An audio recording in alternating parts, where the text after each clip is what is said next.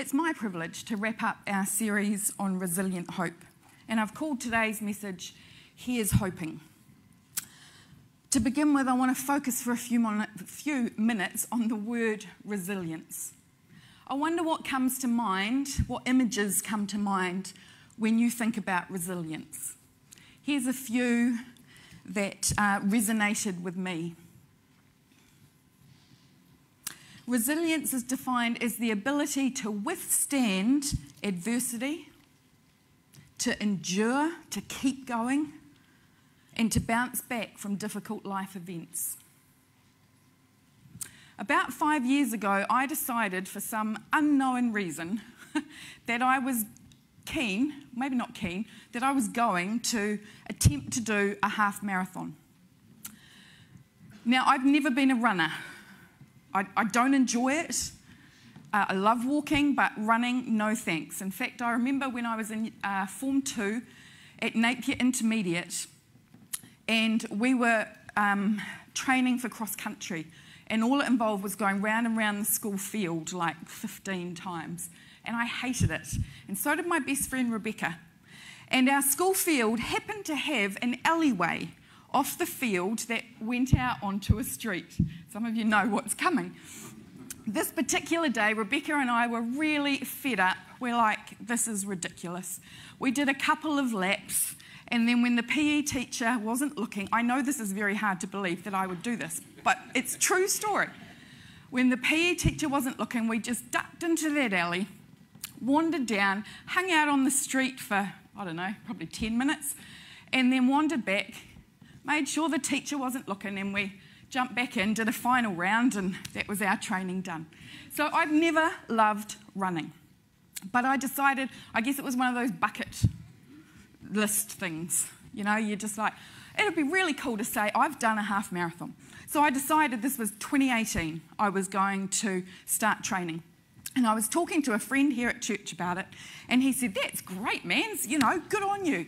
Um, now, which, which marathon are you going to do? I said, I haven't even thought about that. And he said, I reckon you should go for the Wellington Half Marathon. It's nice and flat and just goes round Oriental Parade and round like for miles and miles. And so it'd be a perfect event for you for your first half marathon. I said, cool, okay, I'm going to aim for that one. So I started training. And like I said, this didn't come easily. I remember getting to my first 5K thinking, okay, this is all right, I can do it. I then got to my first 10K. And then one Saturday morning, I managed 12K, and I was so proud of myself. I got home, and it just so happened that another good friend of mine called. He said, Hey, Mans, what's happening? And I said, Tim, you're never going to believe this. I've just run 12K. He's like, Whoa, what are you doing that for? I said, Well, that's a very good question but I'm, I'm hoping to do a half marathon. He said, That's fantastic. I reckon what you need to do is an event before the half marathon to kind of get into event mode. I said, Okay, yeah, that makes sense. And so he told me about this event coming up in Wainuiomata and the Orongorongos in about a month's time. And so I said, Okay, cool, let's register. And the event was either a 12K or a 16K. And I said to him, without even looking at the event, my first big mistake, as you'll soon see, uh, I said, Well, look, I've just run 12k today. This event isn't for another month. I reckon let's go for the 16. so we registered for the 16k. I rocked up and I learnt that the name of this event was Makero's Revenge. Now, I don't know who Makero was, but he was super mad at somebody because I tell you, I'd never even looked, I didn't even know elevation charts like this existed. And if you look, that first little kilometre there, I was sweet. I was thinking, I've got this.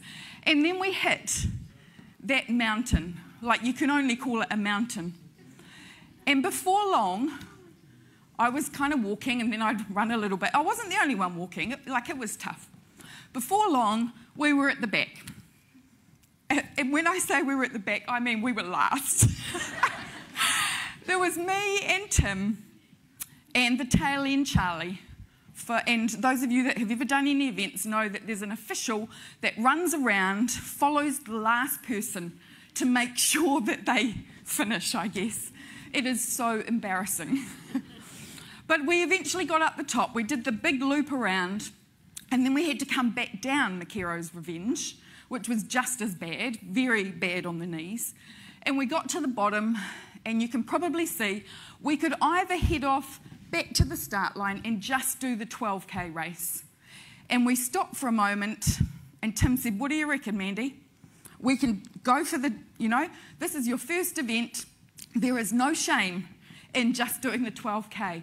Or we can head off east and do that extra 4k loop and go for the 16.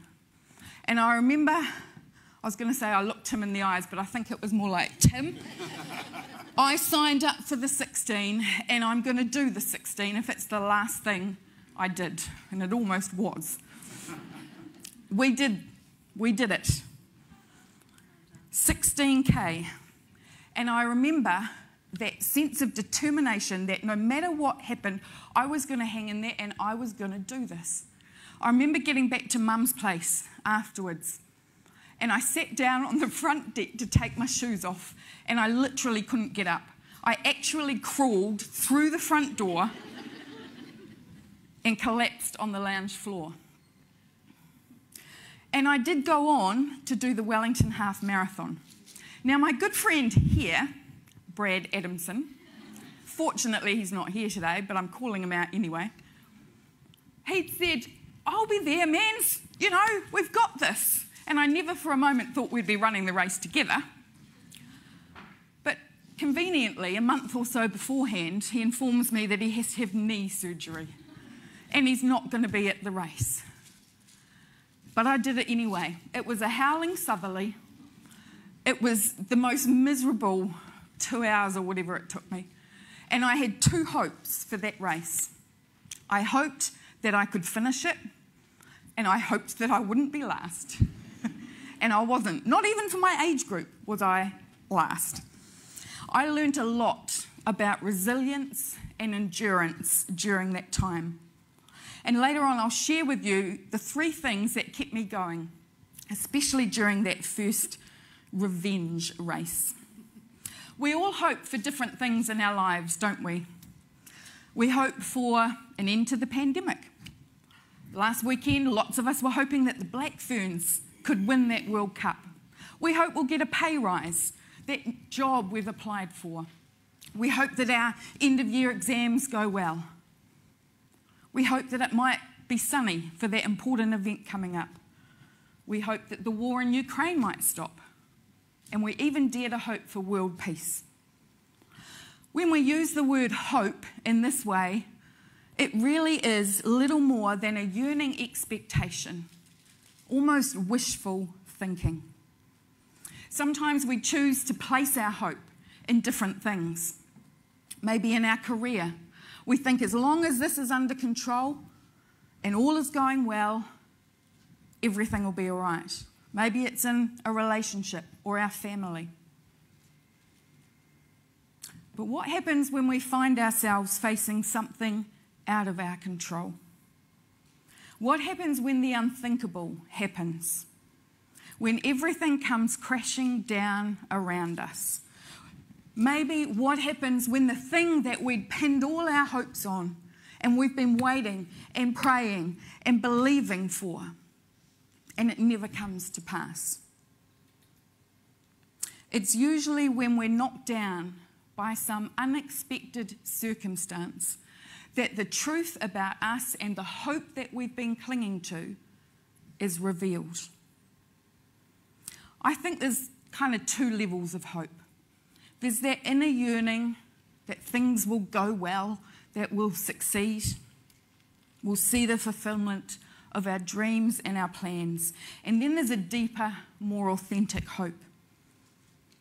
And this morning we're going to look at the life of an Old Testament prophet, Jeremiah. He was actually known as the weeping prophet, which I know doesn't sound particularly hopeful, but he did become a man of ultimate hope. A quick little bit of scene setting. The Jewish people had over time let their love for God and His presence wane. They'd even started uh, worshipping Baal and other gods.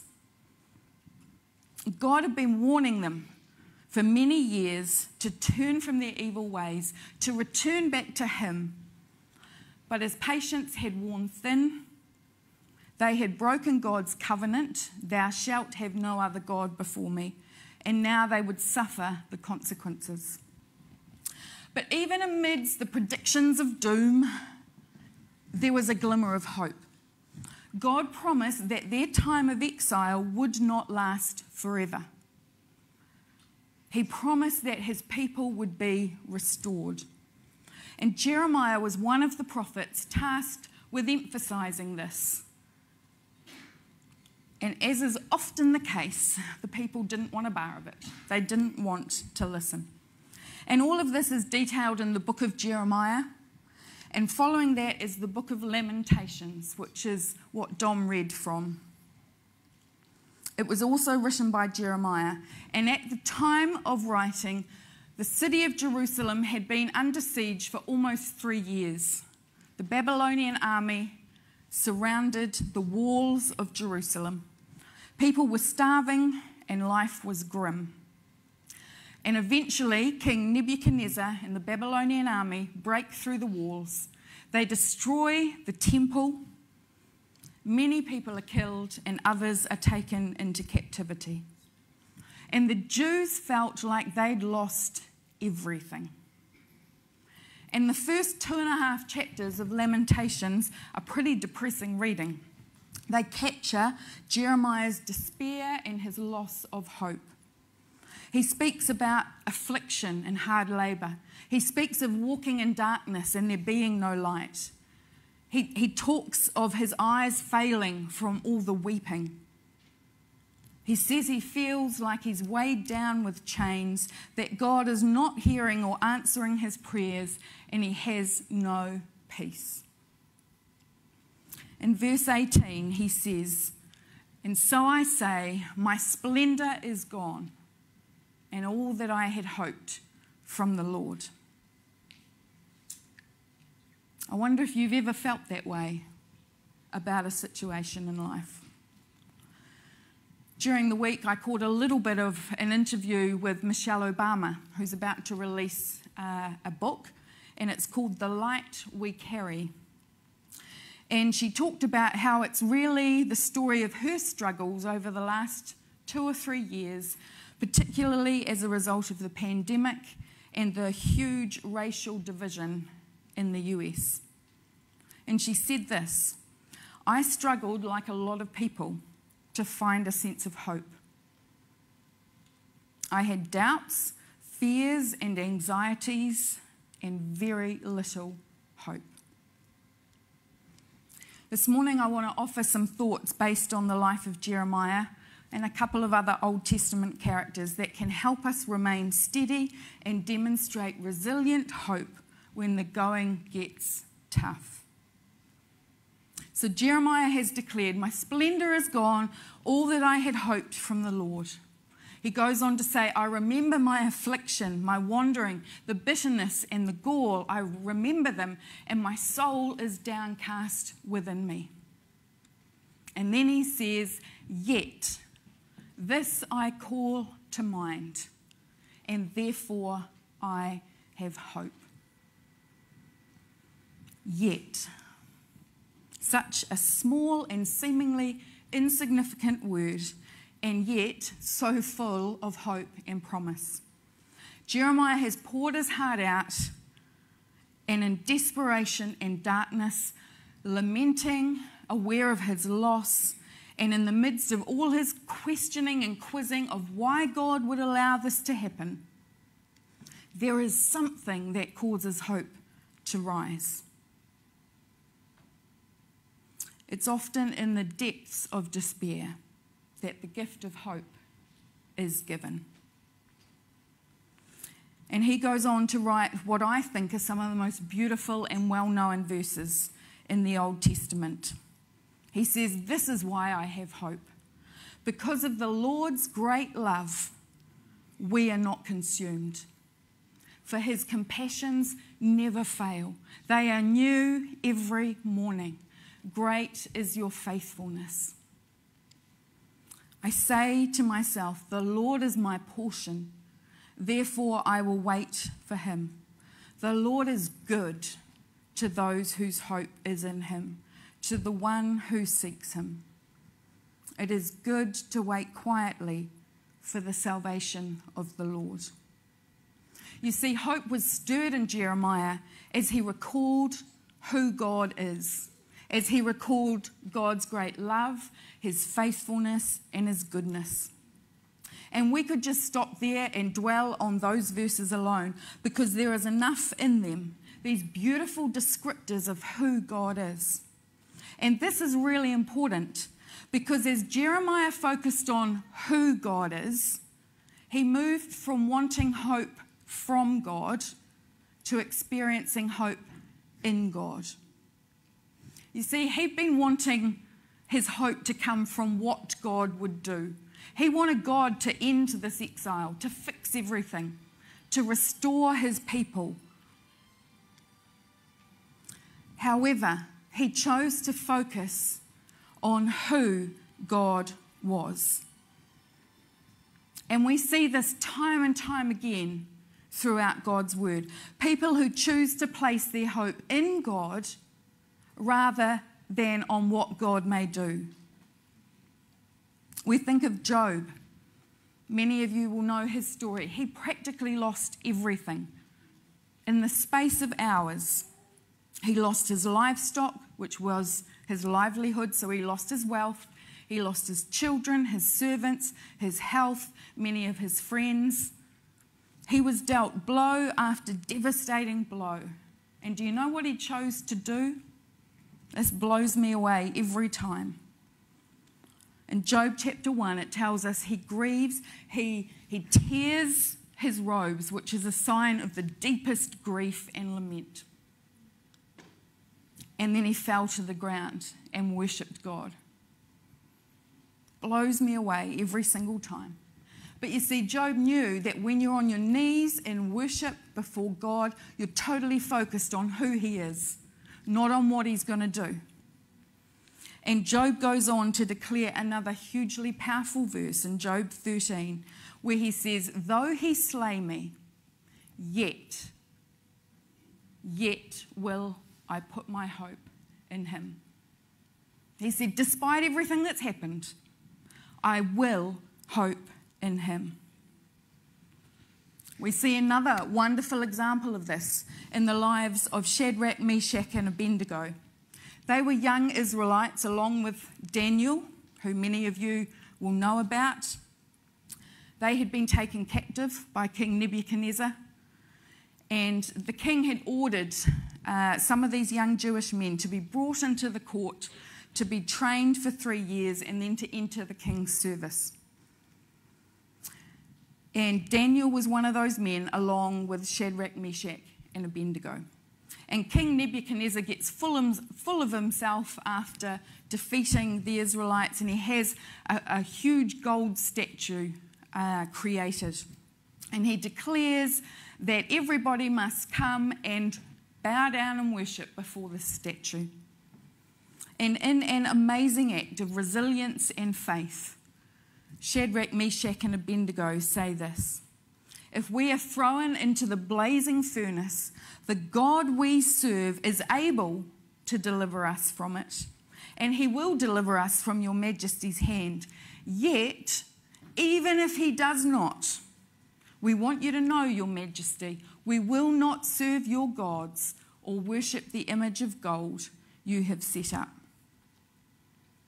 This is a situation where many people would have given up hope. They've been taken from their homeland, forced into captivity, into the king's service, and now their very lives are being threatened. But they chose to worship God for who He was rather than for what He might do for them. And many of you know what happened. They get thrown in that blazing furnace. And when King Nebuchadnezzar comes along to see what's happened, he sees not three men walking around, not a hair on their head singed. But he sees four men. And he recognizes that God is with Shadrach, Meshach, and Abednego. Jeremiah, Job, and Shadrach, Meshach, and Abednego, I think that's the last time I have to say those names, all chose to worship God for who he was rather than for what he would do for them. They were resilient in their faith. But where did they get that faith from? How did they develop a hope and belief in their God that was resilient enough to stand up to the difficult situations they faced?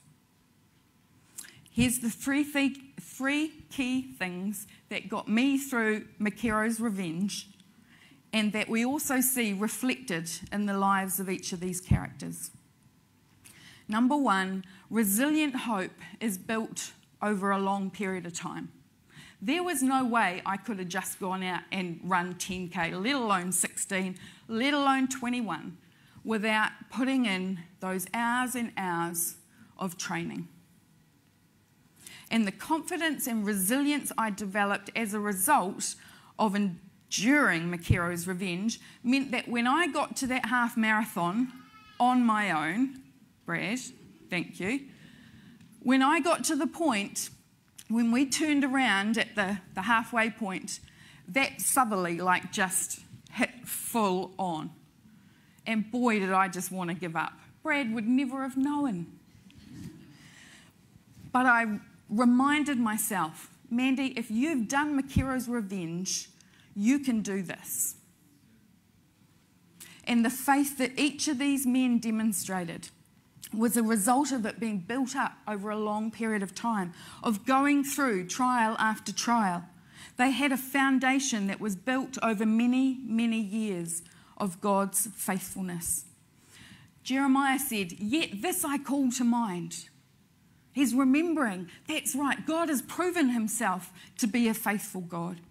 For Shadrach, Meshach, and Abednego, I did have to say it again, they were committed to God, to following his ways, to living the way that they had been taught from childhood.